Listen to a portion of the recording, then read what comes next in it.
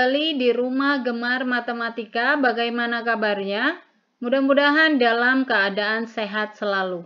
Untuk kali ini kita akan membahas cara menghitung jarak sebenarnya. Silakan disimak dengan baik, namun sebelumnya jangan lupa untuk tetap dukung rumah gemar matematika dengan cara like, subscribe, dan tekan tombol loncengnya supaya bisa mendapatkan notifikasi video-video terbaru. Kita masuk ke pembahasan dan contoh soalnya. Kita mulai dari soal yang pertama. Jarak kota A dan kota B pada peta adalah 4,8 cm. Jika skala kedua kota tersebut adalah 1 banding 2 juta, tentukanlah jarak sebenarnya kedua kota tersebut. Nah, sekarang kita akan menghitung jarak sebenarnya kota A dan kota B. Untuk menghitung jarak sebenarnya, kita menggunakan rumus yaitu jarak sebenarnya atau kita singkat dengan JS sama dengan jarak pada peta dibagi dengan skala. Sekarang kita akan hitung, cara menghitungnya mudah, tinggal ikuti rumusnya saja. Maka jarak sebenarnya sama dengan jarak pada peta. Perhatikan jarak petanya berapa. Di sini jarak pada peta yaitu 4,8 cm. Kemudian dibagi dibagi dengan skala. Skalanya berapa? Skalanya di sini adalah 1 banding 2 juta. 1 banding 2 juta bisa kita tuliskan menjadi 1 per 2 juta. Sama saja artinya ya. Selanjutnya kita hitung jarak sebenarnya sama dengan, kemudian perhatikan ini merupakan bilangan desimal 4,8. 4,8 kita ubah menjadi pecahan biasa, hasilnya menjadi 48 per 10. Dari mana ini per 10? Karena di belakang koma ada satu angka. Untuk desimal, jika di belakang koma satu angka itu berarti per 10. Jika di belakang koma dua angka berarti per 100. Jika di belakang koma tiga angka berarti per 1000. Demikian dan seterusnya ya. Kemudian perhatikan ini merupakan pembagian pecahan. Jika pembagian pecahan, maka baginya ini kita ubah menjadi kali. Berarti bagi menjadi kali. Selanjutnya, jika sudah diubah menjadi kali, pecahan ini 1 per 2 juta kita balik Pembilang menjadi penyebut, penyebut menjadi pembilang atau atas di bawah, bawah ditukar ke atas. Sehingga ini menjadi 2 juta per 1. Selanjutnya kita hitung jarak sebenarnya sama dengan ini nolnya kita hilangkan saja satu di atas ya. Di sini juga kita hilangkan satu. Sekarang menjadi 48 dikali 200 ribu. Ya, Kemudian bawahnya 1 dikali 1. Kita hitung angka yang di atas terlebih dahulu. 48 dikali 200 ribu. Cara menghitungnya mudah. Kalikan saja 48 dikali 2. 48 dikali 2 sama dengan 96. Nah, kemudian di atas sini angka nolnya masih ada 5, berarti nolnya tinggal pindahkan saja. Kemudian untuk di bawahnya 1 dikali 1 tidak perlu ditulis karena hasilnya nanti tetap ya maka menjadi 9.600.000. Nah, perhatikan di sini ini ukurannya atau satuannya masih menggunakan cm. Untuk jarak sebenarnya kita menggunakan satuan kilometer ataupun meter. Untuk satuan kilometer ini kita gunakan jika kita menghitung jarak kota.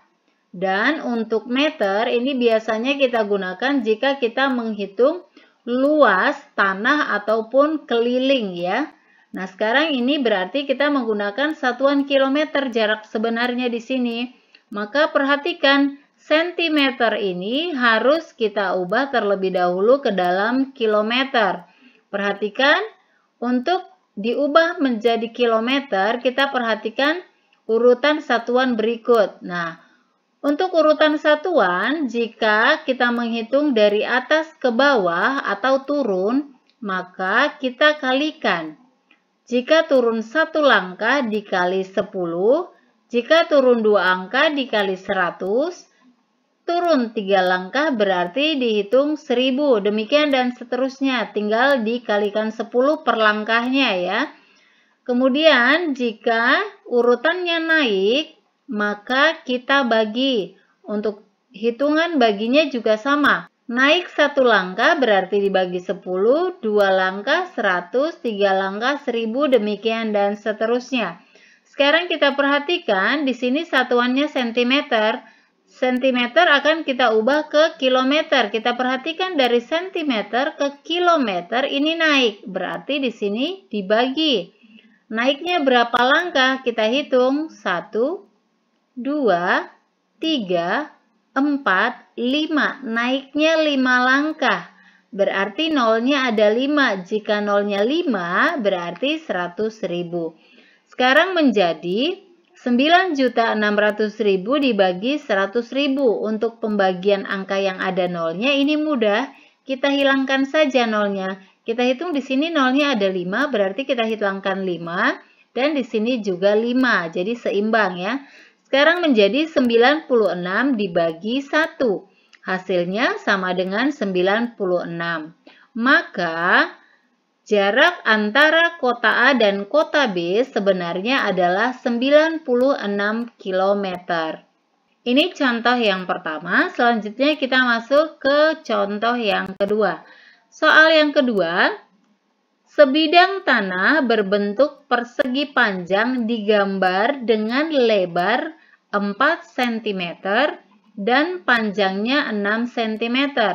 Denah lahan tersebut dibuat dengan skala 1 banding 300. Tentukanlah luas sebenarnya tanah tersebut. Jadi kita akan menghitung luas tanah ya. Rumusnya masih sama, yaitu jarak sebenarnya sama dengan jarak pada peta atau JP dibagi dengan skala. Sekarang kita akan hitung cara menghitungnya sama, kita ikuti rumusnya saja. Jarak sebenarnya sama dengan jarak pada peta. Kita perhatikan di sini belum ada jarak petanya ya.